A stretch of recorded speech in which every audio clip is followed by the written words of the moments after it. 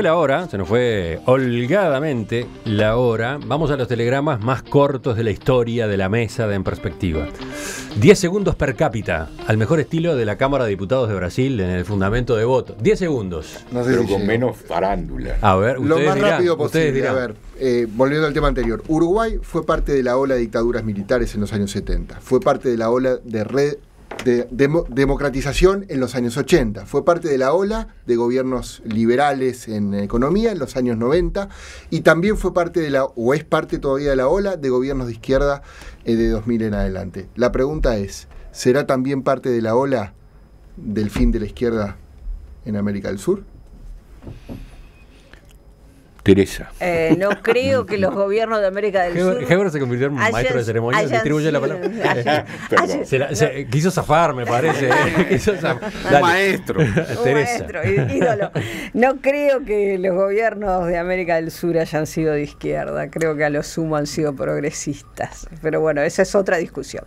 Eh, no creo que sinónimo de progresista sea sinónimo de Bueno, pero- izquierda, pero, bueno, está. pero no era ese mi telegrama. Bueno, dale no con tu telegrama debatir. porque se va, se va. No, mi telegrama era mucho más, eh, era simplemente, a pesar de que creo que es obvio, pero expresar mi solidaridad con toda la gente en Uruguay que está sufriendo en este momento, eh, tanto por el terrible tornado en Dolores como por el resto del país que está la mitad bajo el agua.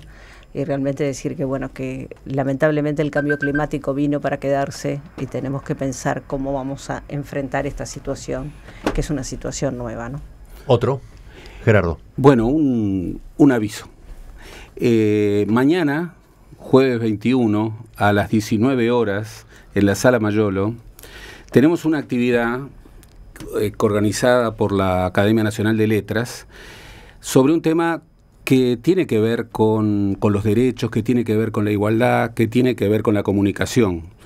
Eh, el tema es, incluso el título de la actividad es ¿Discrimina el español? Ay, qué lindo. el tema del lenguaje inclusivo. Y ahí tendremos eh, panelistas de lujo. Por ejemplo, va a estar la lingüista Virginia eh, Bertolotti, va a estar el presidente de la Asociación de la Cultura Afro-Brasileña, Edgardo Ortuño, va a, ser- va a estar la presidenta de la, eh, del Instituto de la Mujer, Mariela Mazzotti, y va a estar Emiliano Cotelo.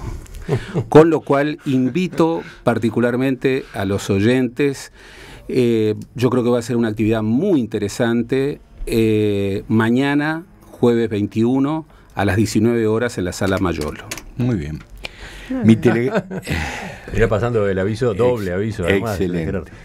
Gerardo. Mi, mi tele- eh, Heber, mi telegrama recoge un poco algo que hablamos aquí. Creo que es importante que coincidimos todos en que el Uruguay era una excepción, en cierto modo, dentro de América Latina, que los problemas de futuro son más fáciles de adoptar desde Uruguay que desde cualquier otro país del continente. Por eso yo en este telegrama quería instar a los partidos políticos uruguayos a tratar de fabricar políticas de Estado, no a retirarse de los acuerdos, acuerdos tan importantes como este que se llamó sobre seguridad, donde en definitiva una vez más nos vamos a ver frustrados. Educación, seguridad, igualdad son problemas que requieren el esfuerzo de todos, no retirarse antes de tiempo.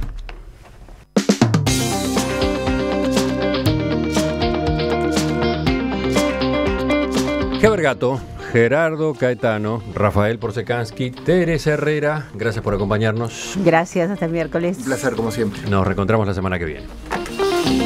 Ahora vienen las noticias con la actualización a media mañana que trae Nicolás Batalla y después seguimos en perspectiva hasta las 11.